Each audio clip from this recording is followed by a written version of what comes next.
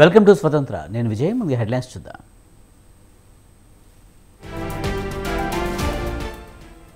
BRS Congress రెండు ఒక గూటి పక్షులే. కాళేశ్వరం స్కామ్ను ఎందుకు తొక్కిపెట్టారన్న మోదీ?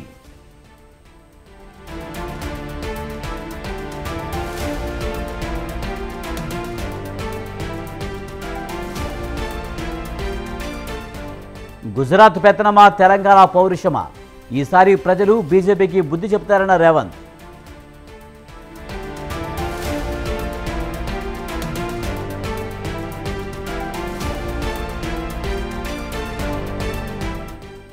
మోదీ రేవంత్ ఇద్దరు ఒకటే. కొత్తగూడెం రోడ్ షోలో కేసీఆర్ హాట్ కామెంట్స్.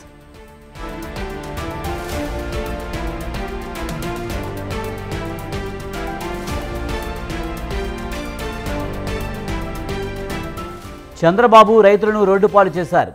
పెన్షనర్లను ఏ రోజు పట్టించుకోలేదన్న జగన్.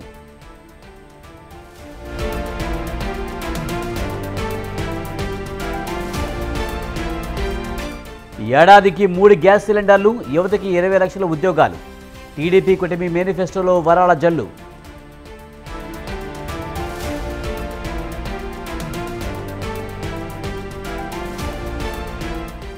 బాబాయ్ని చంపిన అవినాష్కు టికెట్ ఇచ్చారు. జగన్కి ఓటమి భయం పట్టుకుందన్న షర్మిల.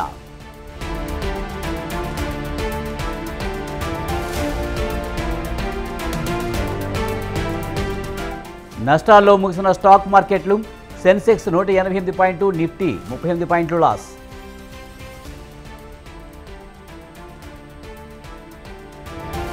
టీ ట్వంటీ వరల్డ్ కప్కు భారత జట్టు ప్రకటన కెప్టెన్గా రోహిత్ శర్మకు బాధ్యతలు.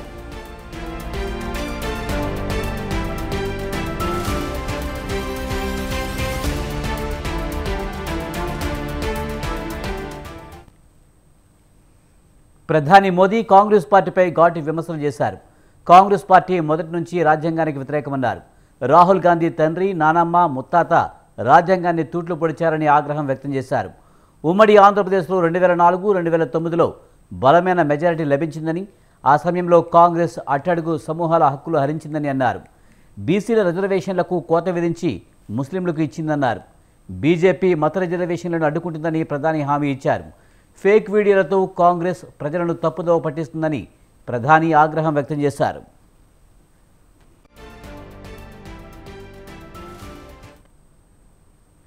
రాముడి పేరు చెప్పి బీజేపీ ఓట్లు అడుగుతుందని ముఖ్యమంత్రి రేవంత్ రెడ్డి అన్నారు. తెలంగాణకి మోదీ గాడిదగుడ్డి ఇచ్చారని విమర్శించారు. సీతారాముల కళ్యాణం చేసిన తర్వాత అక్షింతలు ఇస్తామని కానీ కళ్యాణం జరగకముందే బీజేపీ నేతలు ఇక్కడ అక్షింతలు పంచారని చెప్పారు. రాముడిని బీజేపీ అవమానించిందని మండిపడ్డారు. తామంతా రాముడి భక్తులమేనని స్పష్టం చేశారు. తమకంటే గొప్ప హిందువులు ఉన్నారా అని ప్రశ్నించారు. హిందువులను తాము ఓటు బ్యాంకులాగా వాడుకోమని రేవంత్ రెడ్డి స్పష్టం చేశారు.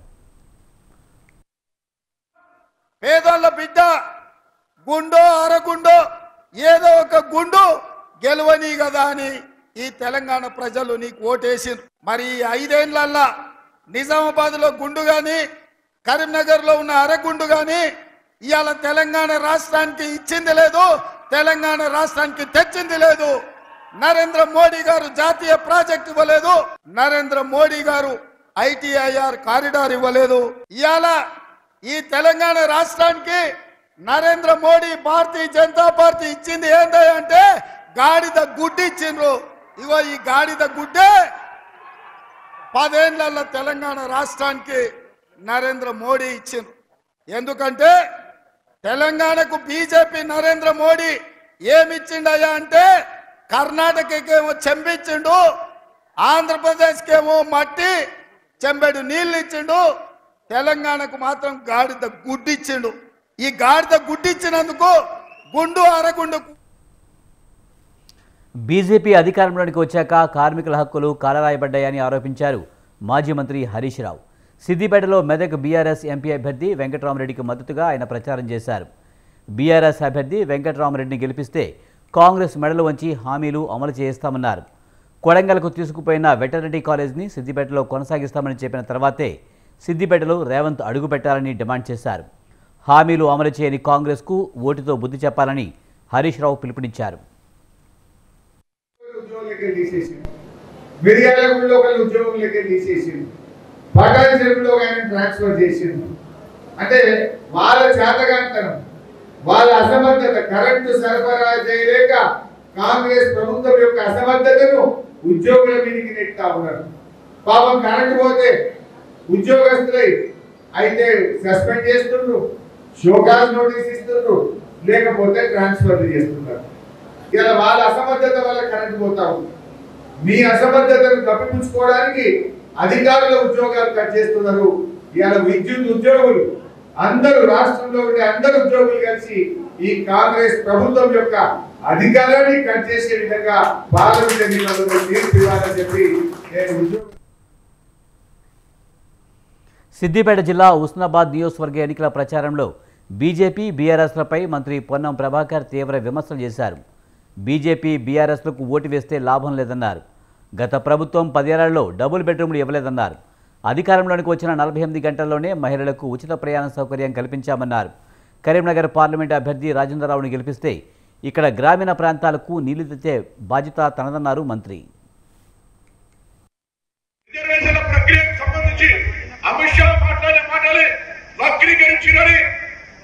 ముఖ్యమంత్రి గారికి నోటీసులు ఇచ్చి అరెస్ట్ చేస్తూ ఏ ఢిల్లీ పోలీసులు బీజేపీ గవర్నమెంట్ నిజంగా మీకు దమ్ముంటే ఒక్కసారి అరెస్ట్ చేసి పెట్టండి మీ BJP IT cell Amit Goyal రోజు వందల ఫేక్ న్యూస్ పెడుతుంటే అనేకమైనటువంటి జాతీయ స్థాయిలో ఉన్నటువంటి అమిత్ అనేటువంటి ఐటీ సెల్ చైర్మన్ వందల ఫేక్ ఐటీ పెడితే కేసులు చేస్తే ఒక కళలో చర్య తీసుకున్నారా ఇది తొందరది కాదా రాహుల్ గాంధీ గారిని మన్మోహన్ సింగ్ను మల్లికార్జున ఖార్గే గారిని ప్రియాంక గాంధీ గారిని అనేకమైనటువంటి తొందర వీడియోలు పెడితే ఒక చర్య తీసుకోవడంలో అమిత్ షా మీద ఒక వీడియో ఉంటే భయపడతా ఉన్నారు రాహుల్ గాంధీ దేశానికి కాబోయే ప్రధాని అని టీపీసీసీ వర్కింగ్ ప్రెసిడెంట్ జగ్గారెడ్డి అన్నారు. అమిత్ షా మోదీల ఆదేశాలతో గాంధీ భవన్కి ఢిల్లీ పోలీసులు వచ్చారన్నారు. రాజస్థాన్లో మోదీ మాట్లాడిన మాటలు ఆధారాలు చూపెట్టారని జగ్గారెడ్డి లేదంటే ముక్కుకు నేలకు రాయాలన్నారు జగ్గారెడ్డి. ఎన్నికల కమిషన్ బీజేపీ జేబు సంస్థగా వ్యవహరిస్తుందని మోడీకి ఎందుకు ఎన్నికల కమిషన్ నోటీసులు ఇవ్వలేదన్నారు జగ్గారెడ్డి. రాహుల్ ప్రధాని అయితే ఎస్సీ ఎస్టీ బీసీ మైనార్టీల జీవితాల్లో వెలుగులు వస్తాయన్నారు జగ్గారెడ్డి. చీఫ్ భగవత్ గారు మాట్లాడరు ఎప్పుడు? కానీ మాట్లాడేటట్టు చేసింది ఎవరయ్యా అంటే రాహుల్ గాంధీ గారు. బీసీలారా ఎస్సీ ఎస్టీలారా ఇది గమనించండి. ఈరోజు భగవత్ గారు ఆర్ఎస్ఎస్ చీఫ్ మాట్లాడిండు అని అంటే దానికి మూల కారకుడు మూల నాయకుడు మా నాయకుడు రాహుల్ గాంధీ గారు. లేకపోతే భాగవత్ గారు అంత ఈజీగా వస్తాడా బయటికి? ఆయన ఆర్ఎస్ఎస్ చీఫ్. కానీ ఆ పర్సనాలిటీ కూడా బయటకు వచ్చేటట్టు ఎస్సీ ఎస్టీ బీసీల గురించి మాట్లాడేటట్టు చేసిన చరిత్ర రాహుల్ గాంధీ గారు ఈ చరిత్ర ఎక్కడి? ఎవరు కాదనలేరు. ఇక ప్రధానమంత్రి మోడీ గారు పదేళ్ళు ప్రధానమంత్రిగా చేసిరే మీరు. భావ్యమా? మీరు ఇన్ని అబద్ధాలు ఆడుడు. మీరు మొన్నటిదాకా మీరు మొన్నటిదాకా మాట్లాడింది ఏంది? రా శ్రీరామచంద్రుడు భగవాను గురించి మీరు మాట్లాడారు మీరు సడన్గా ఎస్సీ ఎస్టీ బీసీల దిగి మాట్లాడారు ఏపీలో ఎన్నికలు సమీపిస్తున్న తరుణంలో ఎన్డీఏ కూటమి మేనిఫెస్టోను విడుదల చేసింది. ఉండవల్లిలోని చంద్రబాబు నివాసంలో టీడీపీ బీజేపీ జనసేన కూటమి ఉమ్మడి మేనిఫెస్టోను మూడు పార్టీల నేతలు ఆవిష్కరించారు. ఉమ్మడి మేనిఫెస్టో చంద్రబాబు పవన్ కళ్యాణ్ సిద్ధార్థనాథ్ సింగ్లు విడుదల చేశారు. ప్రజల అవసరాలు ఆకాంక్షలతో మేనిఫెస్టో రూపకల్పన చేశామన్నారు జనసేన అధినేత పవన్ కళ్యాణ్. ఏపీ భవిష్యత్ కత్తి మన మీద వేలాడుతుందని గత ఐదేళ్ళుగా ఏపీలో అశాంతి అరాచకమే ఉందన్నారు. ఆర్యవైశ్య కార్పొరేషన్కి తగు మేరకు నిధులు కేటాయింపు చిరు వ్యాపారాలకు వడ్డీ లేని రుణాల సౌలభ్యం స్వేచ్ఛాయుత వాతావరణంలో వ్యాపార నిర్వహణకు పటిష్ట చర్యలు ముఖ్యంగా కన్యకా పరమేశ్వరి అమ్మవారి ఆత్మార్పణ దినోత్సవాన్ని అధికార కార్యక్రమంగా చేపడతాం. అవసరం ఉన్న జిల్లాల్లో ఐదు వేల టన్నులు నిల్వ సామర్థ్యం సామర్థ్యం కలిగిన స్టో కోల్డ్ స్టోరేజ్లు అన్ని జోన్లో ఉన్నవారికి విద్యుత్ యూనిట్కి గతంలో లాగే రూపాయి యాభై పైసలకి సరఫరా చేస్తాం. ట్రాన్స్ఫార్మర్ల ధర తగ్గిస్తాం. ఏవియేటర్లపై సబ్సిడీ అందిస్తాం. అలాగే ముఖ్యంగా విద్యార్థులకు సంబంధించి ఎయిడెడ్ కాలేజీలు ప్రైవేట్ పీజీ విద్యార్థులకి ఫీజు రీంబర్స్మెంట్ పునరుద్ధరిస్తాం. కాలేజీలకి రుసుము చెల్లించే సర్టిఫికేట్లు విద్యార్థులకు చిక్కులు లేకుండా చేస్తాం. ల్యాండ్ టైటిలింగ్ యాక్ట్ని రద్దు చేసి ప్రజలకి రక్షణ కల్పిస్తాం. ఆర్యవైశ్య కార్పొరేషన్కి ఇరవై లక్షల మంది యువతకు ఉపాధి నెలకు మూడు వేల చొప్పున నిరుద్యోగ వృత్తి కల్పిస్తామన్నారు టీడీపీ అధినేత చంద్రబాబు నాయుడు. మహిళలకు ఉచిత బస్సు ప్రయాణం తల్లికి వందనం కింద ఒక్కో బిడ్డకు పదిహేను వేలు ఇస్తామన్నారు. మెగా డిఎస్సీ మీదే తొలి సంతకం చేస్తామన్న చంద్రబాబు మత్స్యకారులను ఆదుకుంటామన్నారు. తెలుగుదేశం పార్టీ జనసేన ఇద్దరు కూడా కూర్చొని తరో ఎక్సర్సైజ్ చేసిన తర్వాత బీజేపీ సూచనలు కూడా కొంతవరకు తీసుకొని మేము ముందుకెళ్ళాం. ఎందుకంటే వాళ్ళు అక్కడ ఎన్డీఏ నేషనల్ స్థాయిలో మేనిఫెస్టో ఇచ్చారు. కానీ రాష్ట్ర స్థాయిలో ఎక్కడ కూడా మేనిఫెస్టోతో వాళ్ళు అసోసియేట్ కావడం లేదు. అయితే దీనికి పూర్తి సహకారం అందిస్తారనే ప్రగాఢ విశ్వాసం అదే మరి నమ్మకం. అందుకే వారు కూడా వ్యక్తిగతంగా వచ్చి ఎండార్ చేయడానికి వారు ముందుకు వచ్చారు కాబట్టి కేంద్ర సహకారం మెండుగా ఉంటుంది పూర్తిగా ఉంటుంది. అదేవిధంగా ఈ యొక్క మేనిఫెస్టోను అమలు చేసే బాధ్యత జనసేన తెలుగుదేశం రెండు పార్టీలు తీసు. టీడీపీ జనసేన మేనిఫెస్టోపై సీఎం జగన్ కీలక వ్యాఖ్యలు చేశారు. చంద్రబాబు హామీలన్నీ మోసమేనని బీజేపీ వైఖరితో అర్థమైందన్నారు. టీడీపీ జనసేన మేనిఫెస్టోలో తమ ఫోటో వద్దని బీజేపీ గట్టిగా చెప్పిందని జగన్ చెప్పుకొచ్చారు. చంద్రబాబు పవన్ ప్రకటించిన మేనిఫెస్టోలో మోదీ ఫోటో పెట్టవద్దని బీజేపీ హైకమాండ్ నుంచి ఫోన్లు వచ్చాయని తెలిపారు. ముగ్గురు కుటుంబంలో ఉండి ముగ్గురు ఫోటోలను మేనిఫెస్టోలో పెట్టుకునే పరిస్థితి చంద్రబాబుకు లేదని జగన్ ఎద్దేవా చేశారు.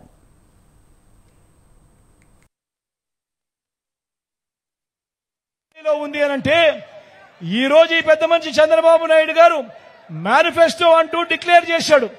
డిక్లేర్ చేస్తే ఏమైందో తెలుసా? డిక్లేర్ చేస్తే పైనుంచి బీజేపీ ఫోన్ చేసి అయ్యా నీ ఫోటోనే పెట్టుకో మోడీ ఫోటో మాత్రం నీ మేనిఫెస్టోలో పెట్టుకునే పెట్టుకోవాకు. మేము ఒప్పుకోము అని అంటా ఉన్నారు. అంటే ఈయన సాధ్యం కాని హామీలు అది మోసమే అని ఏ స్థాయికి రుజువు అవుతా ఉంది అని అంటే చివరికి ఈ మాదిరిగా ముగ్గురు కూటమిలో ఉండి ముగ్గురు ఫోటోలు కూడా పెట్టుకునే పరిస్థితిలో చంద్రబాబు నాయుడు లేడు అని అంటే ఒక్కసారి గమనించండి. ఆయన ప్రజలను ఏ స్థాయిలో మోసం చేయడాని కోసం బరి తెగించాడో ఒక్కసారి గమనించమని కోరుతూ చంద్రబాబు పవన్ ఇచ్చే హామీలు అమలయ్యేవి కావని బీజేపీకి అర్థమైపోయిందన్నారు మాజీ మంత్రి పేర్ని నాని. మేనిఫెస్టో పేరుతో అరచేతిలో వైకుంఠం చూపించారని ఆయన విమర్శించారు.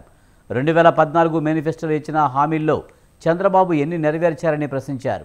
రాష్ట్రాన్ని ఉద్ధరించడానికి కాదని అధికారం కోసమే ముగ్గురు కలిశారని మండిపడ్డారు. రెండు వేల పంతొమ్మిదిలో విమర్శించుకున్న నేతలే ఇప్పుడు కలిశారని మళ్ళీ దొంగ హామీలతో ముందుకొస్తున్నారని పేర్ని నాని ఫైర్ అయ్యారు. సంతకం పెట్టే పరిస్థితి లేదు. అంటే ఇక్కడే అంటే ఇద్దరు వీళ్ళిద్దరూ మోసం చేస్తున్నారని మూడో అతను చెప్తున్నాడు. ఎందుకని? ఇవన్నీ కూడా ఈ చెప్పే మాటలన్నీ కూడా చంద్రబాబు నాయుడు పవన్ కళ్యాణ్ ఇద్దరు చెప్పే మాటలు అమలయ్యేవి కాదు. మళ్ళీ జనాలకి టోపీ పెడతాకి రెండు వేల పద్నాలుగులో ఎలా అయితే టోపీ పెట్టారో మళ్ళీ టోపీ పెడతాకే ఇవన్నీ కూడా అరచేతిలో వైకుంఠం కాగితాల మీద చూపించేటువంటి పరిస్థితుల్ని అప్పుడే కూటమిలో ఒక సభ్యుడు నాకు సంబంధం లేదు. ప్రజలందరూ తమ ఓటు హక్కును సద్వినియోగం చేసుకోవాలని పిలుపునిచ్చారు టీడీపీ ఎమ్మెల్యే నందమూరి బాలకృష్ణ. ఎన్నికలకు ముందు అమ్- అమ్మఒడి పథకం కింద ఎంతమంది పిల్లలుంటే అంతమందికి ఇస్తామని చెప్పి అధికారంలోకి రాగానే జగన్ మోసం చేశారని ఆయన మండిపడ్డారు. కూటమి అధికారంలోనికి వస్తే మహిళలకు ఉచిత బస్సు ప్రయాణంతో పాటు ఏడాదికి మూడు గ్యాస్ సిలిండర్లు ఉచితంగా ఇస్తామన్నారు. అలాగే ప్రతి విద్యార్థికి ఏడాదికి పదిహేను వేలు ఇస్తామన్నారు. వృద్ధాప్య పెన్షన్ మొట్టమొదటిసారిగా ఎన్టీఆర్ ప్రవేశపెట్టారని కూటమి అధికారంలోనికి వస్తే నాలుగు వేల పెన్షన్ ఇస్తామని బాలకృష్ణ హామీ ఇచ్చారు. మీరంతా కూడా ఆ ఓటుని సద్వినియోగపరుచుకోవాలని మిమ్మల్ని అందరినీ నేను కోరుకుంటున్నాను. మహిళలకి మాట ఇచ్చాడు అధికారంలోకి రాగానే ప్రతి బిడ్డకు కూడా పదిహేను పదిహేను వేల రూపాయలు ఇస్తానని. చివరికి ఒక బిడ్డకి ఇస్తున్నాడు పదిహేను వేల రూపాయలు. మరి ఈనాడు తెలుగుదేశం సూపర్ సిక్స్ ఈ యొక్క మేనిఫెస్టోతో మీ ముందుకు వచ్చింది. అది మహిళలకి మూడు సిలిండర్ గ్యా- గ్యాస్ సిలిండర్లు సంవత్సరానికి ఉచితంగా మహిళలు ఆర్టీసీ బస్సుల్లో ఉచితంగా ప్రయాణం చేసే సౌకర్యం. అలాగే ప్రతి బిడ్డ కూడా చదువుకునే బిడ్డకి పదిహేను వేల రూపాయలు. ప్రతి ఆడపడుచు కూడా వెయ్యి పది వెయ్యి ఐదు వందల రూపాయలు. అలాగే ఏదైతే ఈ అవ్వ తాత పెన్షన్ ఉందో వృద్ధాప్య పెన్షన్ నాన్నగారు మొట్టమొదటి మన దేశంలో మొదలు పెట్టారు అప్పుడు ముప్పై రూపాయలు ఎనభై మూడులో. దాన్ని ఇప్పుడు మూడు వేలకు వెళ్ళింది. దాన్ని నాలుగు వేలు చేస్తామని మన మేనిఫెస్టోలో పేర్కొనడం జరిగింది. మొదటి ఏపీ ల్యాండ్ టైటిలింగ్ చట్టంపై టీడీపీ జనసేన దుష్ప్రచారం చేస్తున్నాయని మండిపడ్డారు సజ్జల రామకృష్ణారెడ్డి. కేంద్ర ప్రభుత్వ నీతి ఆయోగ్ మార్గదర్శకాల ప్రకారం ల్యాండ్ టైటిలింగ్ చట్టం దేశంలోని అన్ని రాష్ట్రాల్లో ప్రవేశపెట్టబోతున్నారని ఆయన చెప్పారు.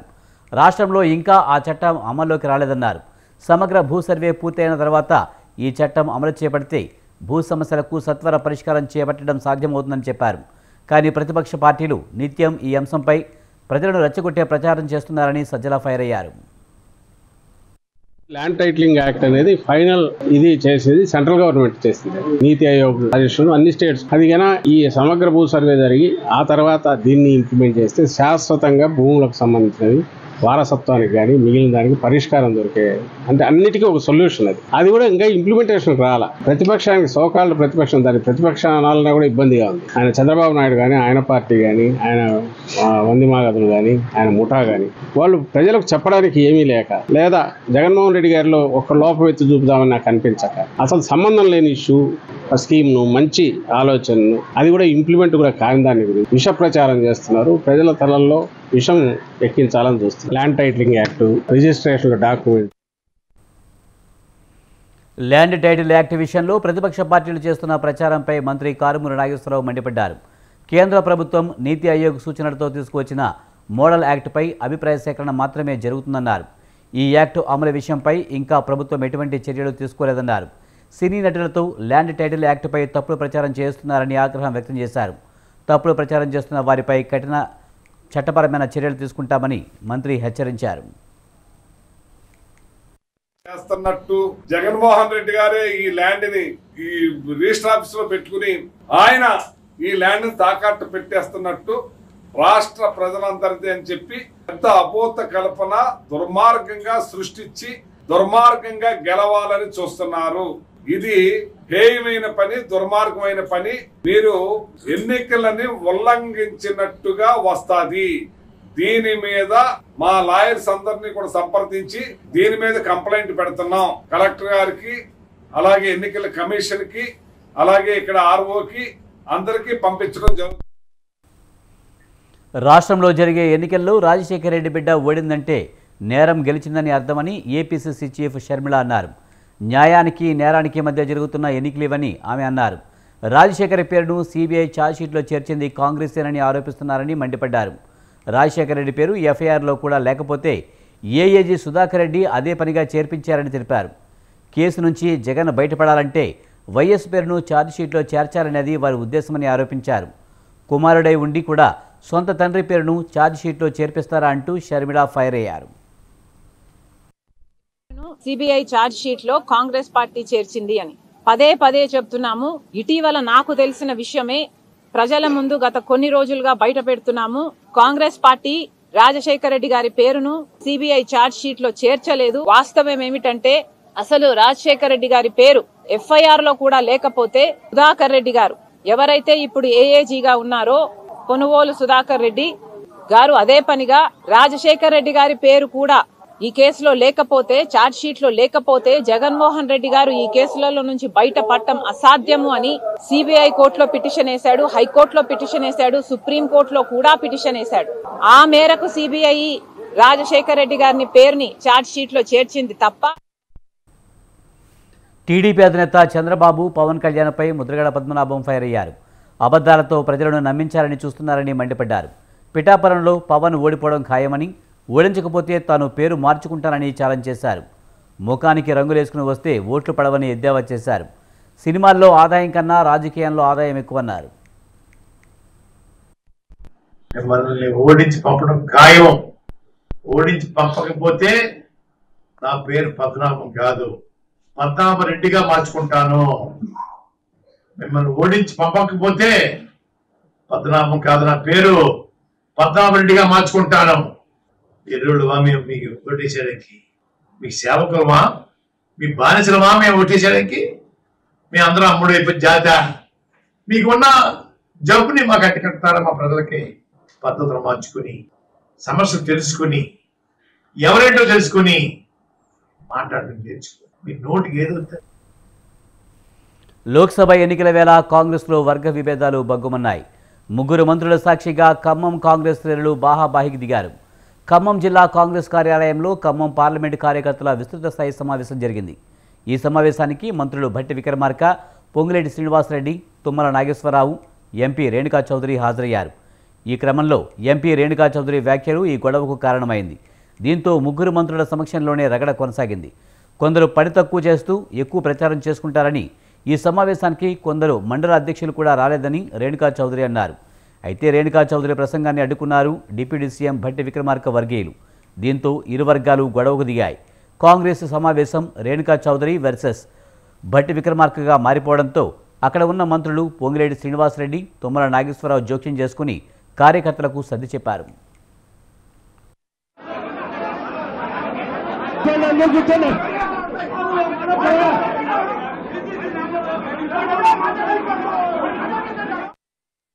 అఖిల భారత కాంగ్రెస్ కమిటీ అభ్యర్థిగా నియమించినటువంటి రామసాయం రఘురామరెడ్డి గారిని గెలిపించడానికి కాంగ్రెస్ పార్టీ ఏర్పాటు చేసుకున్న సమావేశం. ఏ వ్యక్తి కోసం వ్యక్తుల కోసం ఏర్పాటు చేసుకున్న సమావేశం కాదు. కేవలం పదేళ్ళ పాటు ఈ రాష్ట్రంలో TRS party BRS party Congress నాయకులపైన కార్యకర్తలపైన అనేక రకాలైనటువంటి దౌర్జన్యాలు చేస్తే కూడా ఆ దౌర్జన్యాలన్నింటినీ తట్టుకుని ఆ బీఆర్ఎస్ నిరంకుశ నిర- ప్రభుత్వాన్ని వ్యతిరేకం చేసి జరిగినటువంటి సాధారణ ఎన్నికల్లో కాంగ్రెస్ పార్టీని అదేగా గెలిపించినటువంటి ఖమ్మం జిల్లా కాంగ్రెస్ శ్రేణులందరూ కూడా ముందుగా ధన్యవాదాలు కృతజ్ఞతలు. ప్రతి నాయకుడు అధికార కాంగ్రెస్పై బీఆర్ఎస్ నేత ఎర్రవల్ల శ్రీనివాస్ తీవ్ర విమర్శలు చేశారు. అబద్ధాలతో కాంగ్రెస్ అధికారంలోనికి వచ్చిందన్నారు. కాంగ్రెస్ హయాంలో మార్పు అంటే కరెంటు కోతలు రైతులు ఆత్మహత్యలే అన్నారు. ఉస్మానియా యూనివర్సిటీకి కరెంటు నీళ్ళు ఇవ్వలేము. విద్యార్థులు ఖాళీ చేయాలని ప్రభుత్వం నోటీసులు ఇచ్చిందన్నారు. వీసీ పర్మిషన్ లేకుండా చీఫ్ వార్డెన్ నోటీసులు ఎలా- ఎలా ఇస్తారని ప్రశ్నించారు. ఇది అంత అబద్ధమే అని చెప్పేసి ఆ చీఫ్ వార్డెన్కు షోకాస్ నోటీస్ ఇస్తారు. ఆయనను మీరు బదనాం చేస్తారు. ఈ మాట ఇట్లా వదిలేస్తే మా బట్టి విక్రమార్క గారు కరెంట్ ఉన్నాయి నీళ్ళు ఉన్నాయి సరిపడా అని ఈయన ఒక స్టేట్మెంట్ ఇస్తారు అసలు ఈ మూడిట్లలో ఏది నమ్మాలి? ఇలా చీఫ్ వార్డెన్కి నోటీసులు ఇచ్చి చేతులు దులుపుకోమంటే కుదరదు. చీఫ్ వార్డెన్ మీద వీసీ రిజిస్టర్ వీసీలు ఉంటారు.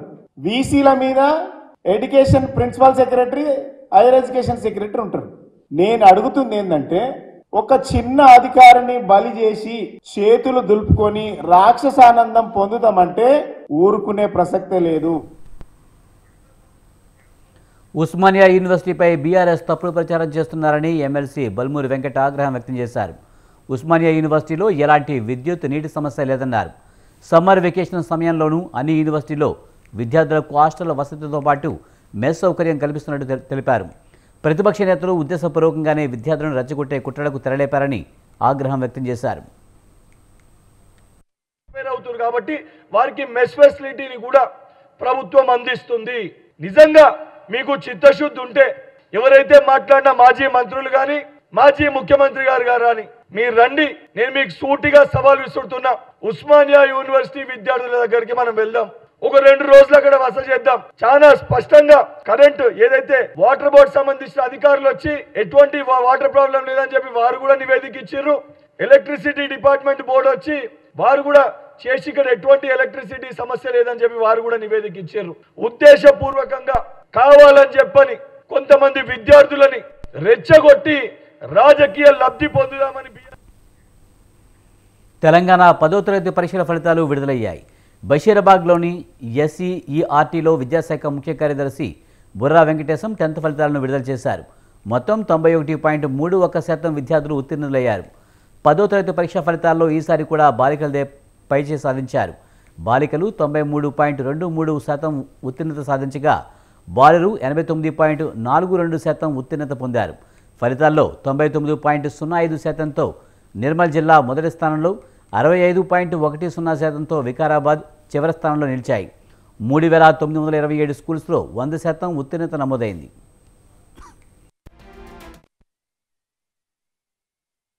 మొత్తంగా ఐదు లక్షల ఐదు వేల ఎనిమిది వందల పదమూడు మంది ఎగ్జామ్స్ రాశారు. అందులో నాలుగు లక్షల తొంభై నాలుగు వేల రెండు వందల ఏడు మంది ఏమో రెగ్యులర్ విద్యార్థులు అయితే ప్రైవేట్ వాళ్ళు పదకొండు వేల ఆరు వందల ఆరు మంది ఎగ్జామ్స్ రాశారు. పదకొండు వేల నాలుగు వందల అరవై తొమ్మిది స్కూల్స్లో వీళ్ళు రాశారు exams. Eleven thousand four sixty nine. So ఇందులో పాస్ పర్సంటేజ్ చూస్తే గర్ల్స్ యాజ్ యూజువల్ హయ్యర్ పర్సంటేజ్తో పాస్ అయ్యారు. So three point eight one percent higher percentage than the boys వచ్చింది. ప్రైవేట్లో కూడా అట్లాగే అమ్మాయిలు six point seven four percent higher రిజల్ట్స్తో వచ్చారు. సో రెగ్యులర్గా అయితే boys eighty nine point four two అయితే girls ninety three point two three అట్లాగే టోటల్గా ninety one point three one. మొత్తం జిల్లాల వైజ్ కనుక చూస్తే ఈసారి మూడు వేల తొమ్మిది వందల ఇరవై ఏడు స్కూల్స్ హండ్రెడ్ పర్సెంట్ రిజల్ట్ వచ్చాయి. Which is good. Three thousand nine twenty seven hundred percent results వచ్చాయి. ఆరు స్కూల్స్లో జీరో రిజల్ట్స్ ఈ ఆరు స్కూల్స్ కూడా ప్రైవేట్ స్కూల్సే. సో ఆరు schools private schools zero results వచ్చాయి. ఇంక వేరే ఏ స్కూల్స్లో కూడా జీరో రిజల్ట్స్ రాలేదు. Nirmal highest percentage ninety nine point zero nine Siddipet ninety eight point six five percent Rajanna Sircilla ninety eight point seven two two ninety eight point two seven పర్సెంట్తో one two three ranks. Least percentage Vikarabad six BJP నాలుగు వందల సీట్లు సాధించి అధికారంలోకి వస్తే రిజర్వేషన్లు రద్దు చేస్తుందనే తప్పుడు ప్రచారాన్ని ప్రతిపక్షాలు ముఖ్యంగా కాంగ్రెస్ సాగిస్తుందని కేంద్ర హోంమంత్రి అమిత్ షా అన్నారు. తాను రిజర్వేషన్లకు వ్యతిరేకంగా మాట్లాడినట్లు నకిలీ వీడియో సృష్టించడాన్ని తీవ్రంగా దుయ్యబట్టారు. రాహుల్ గాంధీ అండ్కు రాజకీయంగా మరీ దిగజారిపోయిందని ఆయన విమర్శించారు. బీజేపీ మతపరమైన రిజర్వేషన్లను వ్యతిరేకిస్తుందని అమిత్ షా స్పష్టం చేశారు. అయితే ఎస్సీలు ఎస్టీలు ఓబీసీల రిజర్వేషన్లను పూర్తిగా సమర్థిస్తుందని హోంమంత్రి వివరించారు मोदी मित्रों उनकी हताशा निराशा इस स्तर पर पहुंच गई है कि उन्होंने मेरा और कुछ भाजपा नेताओं का फेक वीडियो बनाकर सबके बीच में सार्वजनिक की मुख्यमंत्री प्रदेश अध्यक्ष इस कक्षा के व्यक्तियों ने भी इस फेक वीडियो को फॉरवर्ड करने का काम किया अब स्पष्ट हो चुका है सौभाग्य से मैं जो बोला था उसका भी रिकॉर्डिंग हुआ था పసిడి ప్రియులకు ఊరట లభించింది గత కొద్ది రోజులుగా పెరుగుతూ వెళ్లిన బంగారం ధరలకు బ్రేక్ పడింది బంగారం రేటు ఇవాళ తగ్గింది హైదరాబాద్ బులియన్ మార్కెట్లో ప్రస్తుతం ఇరవై రెండు క్యారెట్ల బంగారం రేటు తులానికి మూడు వందలు తగ్గి అరవై ఆరు వేల ఐదు వందల యాభై వద్దకు దిగి వచ్చింది ఇక ఇరవై నాలుగు క్యారెట్ల గోల్డ్ రేటు తులానికి మూడు వందల ముప్పై మేర పడిపోయి డెబ్బై రెండు వేల ఆరు వందల వద్ద ట్రేడింగ్ అవుతుంది.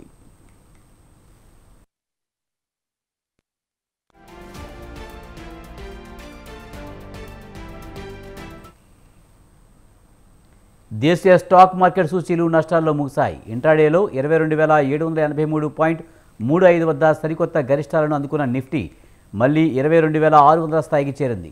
సెన్సెక్స్ ఉదయం డెబ్బై నాలుగు వేల ఎనిమిది వందల పాయింట్ల వద్ద లాభాల్లో ప్రారంభమైంది. దాదాపు రోజంతా లాభాల్లోనే కొనసాగింది. ఇంట్రాడేలో డెబ్బై ఐదు వేల నూట పదకొండు పాయింట్ ముప్పై మూడు తొమ్మిది పాయింట్ల వద్ద గరిష్టాలను తాకిన సూచి తర్వాత కుదేలైంది. చివరికి నూట ఎనభై ఎనిమిది పాయింట్ ఐదు సున్నా పాయింట్ నష్టంతో డెబ్బై నాలుగు వేల నాలుగు వందల ఎనభై రెండు పాయింట్ ఏడు ఎనిమిది వద్ద ముగిసింది. నిఫ్టీ ముప్పై ఎనిమిది పాయింట్ ఐదు ఐదు పాయింట్ నష్టంతో ఇరవై రెండు వేల ఆరు వందల నాలుగు పాయింట్ ఎనిమిది ఐదు వద్ద స్థిరపడింది. డాలర్తో రూపాయి మార్కం విలువ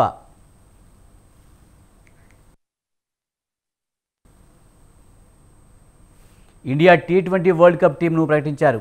రోహిత్ శర్మ కెప్టెన్సీలో పదిహేను మంది సభ్యుల పేర్లను ప్రకటించారు. హార్దిక్ పాండ్యా వైస్ కెప్టెన్గా ఉంటారు. వెస్టిండీస్ అమెరికాలోని ఐసీసీ పురుషుల టీ ట్వంటీ వరల్డ్ కప్ రెండు వేల ఇరవై నాలుగు జూన్ రెండు నుంచి ప్రారంభమవుతుంది. భారత జట్టు captain Rohit Sharma vice captain Hardik Pandya wicket కీపర్లు Rishabh Pant Sanju Samson జట్టులో ఎస్విఎస్ యాదవ్ విరాట్ కోహ్లీ సూర్య కుమార్ యాదవ్ శివన్ దుబే రవీంద్ర జడేజా అక్షర్ పటేల్ కుల్దీప్ యాదవ్ యజువేంద్ర చాహల్ హర్షదీప్ సింగ్ జస్ప్రీత్ బుమ్రా మొహమ్మద్ సిరాజ్.